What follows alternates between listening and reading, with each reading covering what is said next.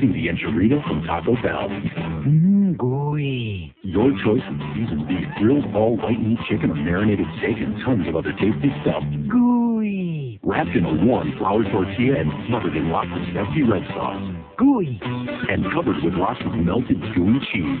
Yes, gooey cheese. The new gooey enchilada starting at just 99 cents for a limited time. If it's a grande taste at a local value, it could only be at Gooey. only at Taco Bell.